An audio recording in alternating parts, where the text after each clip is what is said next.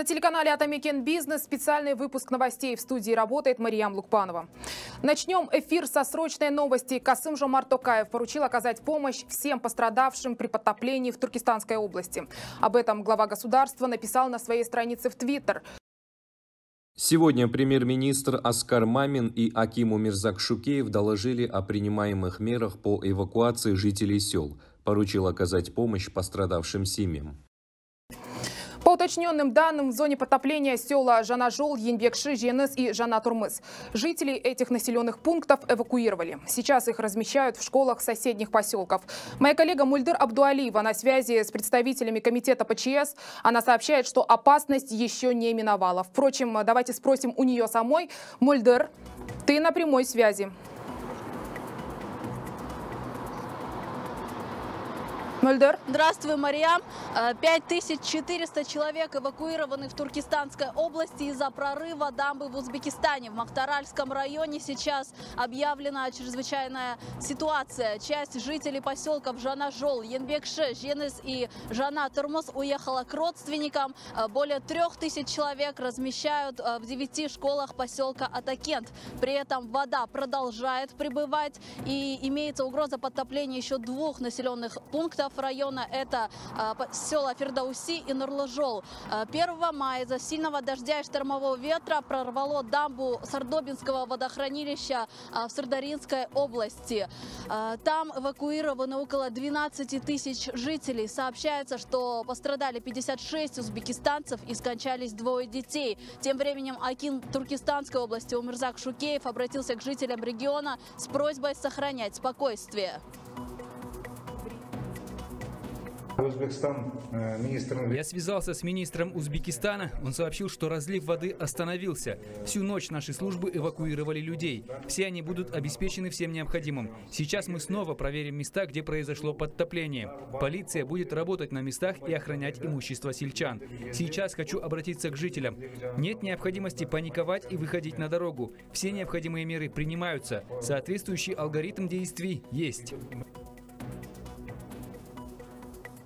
На месте ЧС сейчас работают спасатели. Создан оперативный штаб во главе с председателем комитета по чрезвычайным ситуациям Владимиром Беккером. А, также для регулирования сложившейся ситуации в Туркестанскую область уже а, вылетели заместитель министра внутренних дел Юрий Ильин, вице-министр экологии, а, геологии и природных ресурсов Сергей Громов и представители Министерства сельского хозяйства.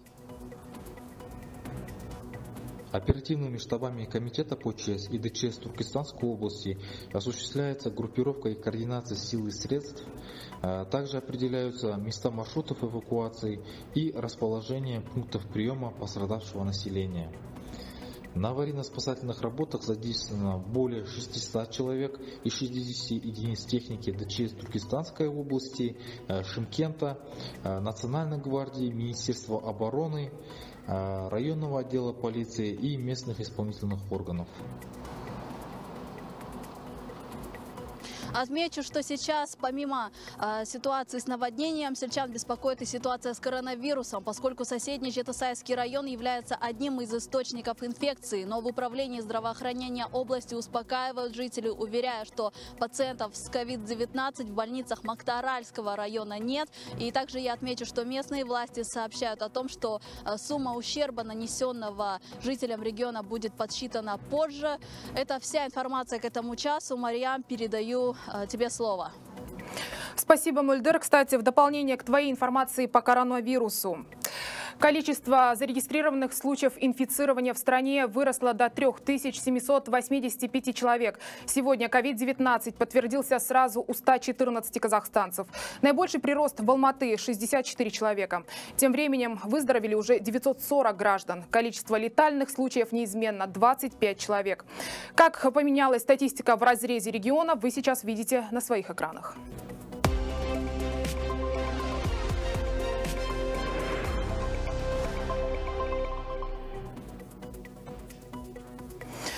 Продолжаем срочные новости. Прекращены депутатские полномочия спикера Сената парламента Дариги Назарбаевой. С чем связано это решение, пока не уточняется. Удалось ли узнать подробности, неожиданные для всей страны новости? Мои коллеги Улпан Бегалиной узнаем прямо сейчас.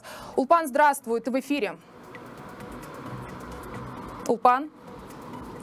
Добрый день, коллеги. Да, действительно, новость о том, что глава государства Касып Жумар Токаев прекратил полномочия Дариги Назарбаевой как депутата Сената парламента стала большой неожиданностью. Причем первый твит э, на странице Ахурды был опубликован в 12.29. А уже буквально через час глава государства Касым Жумар Токаев написал на своей странице э, Твиттер э, небольшой пост с благодарностью о проделанной работе Дариги Назарбаевой.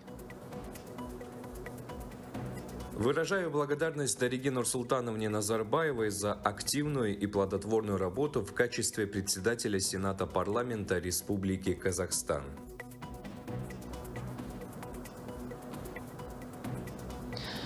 Я напомню, что Дарига Назарбаева была избрана спикером Сената парламента прошлого, 20 э, марта прошлого года, а 2 сентября 2019 она была переизбрана председателем Сената. А, отмечу, что за время а, ее спикерства Верхняя Палата рассмотрела 52 законопроекта, всего же законодательный орган рассмотрел 57 законов. При этом на подпись главе государства было направлено 50 э, законов. Если если же говорить о том, какие из документов были а, наиболее основные, то это, конечно же, а, законы в сфере а, экологии, агропромышленного комплекса, и образования. В частности, речь идет о законе о статусе педагога. Отмечу, что Дарига Назарбаева именно этим сферам уделяла очень большое внимание, и в Сенате проходили большие парламентские слушания. Конечно, нельзя исполнить законопроект о бюджетном кодексе. Были введены поправки, которые предусматривают ответственность первых руководителей за неэффективное освоение бюджета. Я напомню, что в эфире нашего телеканала «Тамикен Бизнес» мы сообщали о том, что а, теперь министрам может грозить штраф в размере 100 а, МРП, если они нерационально используют бюджетные деньги. Причем штраф будет выписывать счетный комитет. А, Причем еще одним законопроектом, который а, был принят под председательством а, Дариги Назарбаевой, является а, законопроект а, трансграничных, трансграничный законопроект по водным ресурсам между Казахстаном, Китаем, Кыргызстаном и Узбекистаном. Я отмечу, что Дарига Назарбаева занимала пост председателя Сената парламента ровно больше года. Депутатом Верхней Палаты она являлась с 13 сентября 2016 года. Ровно год она проработала заместителем премьер-министра. А, Дарига Назарбаева окончила а, исторический факультет МГУ именно имени Ломоносова. А, свой трудовой опыт начала в 1992 году с поста вице-президента фонда «Бубек». Как мы помним, она увлекается пением. И отмечу, что буквально через пять дней, 7 мая, у нее день рождения. Сейчас пост председателя Сената парламента остается вакантным, и новый нового а, спикера Сената может назначить только глава государства в течение месяца. А, напомню, что сейчас Сенат состоит а, из 49 депутатов, по два депутата от каждой области, города республиканского значения и столицы. 15 депутатов назначает глава государства. При этом срок полномочий а, сенатора составляет 6 лет, и каждые три года часть из избранных сенаторов она, они переизбираются развивается. Ну, на этом у меня пока вся информация к данному часу. Марьям, передаю слово тебе. Спасибо, Улпан. Держи нас в курсе событий. Я продолжу. Прокомментировать ситуацию мы попросили известного политолога Досыма Сатпаева. И вот что он нам рассказал в телефонном интервью. Предлагаю послушать. С прошлого года, если вы помните, когда активно обсуждалась тема президентских выборов, вот, э, постоянно это все сопровождалось вопросами. А какие перспективы будут у Дарьги Назарбаевой, э, когда она была спикером Сената? Вот. Тогда было очень много дискуссий по этому поводу. Опять же, с точки зрения транзита власти и так далее. Вот. Если же эта информация подтвердится, то в любом случае это довольно сильно меняет расклад сил э, в определенной степени. Если ей предложат что-то альтернативное, то что это может быть такое, что могло бы в какой-то степени дать ей очень серьезные политические перспективы. То есть, может быть, гипотетически это, возможно, связано с предстоящими парламентскими выборами для того, чтобы в какой-то степени, скажем так, э, э, пытаться э, активно работать на партийном поле и форматировать парламент, исходя, скажем так, из вот этих интересов, взять его под контроль, чтобы был некий баланс президентской власти.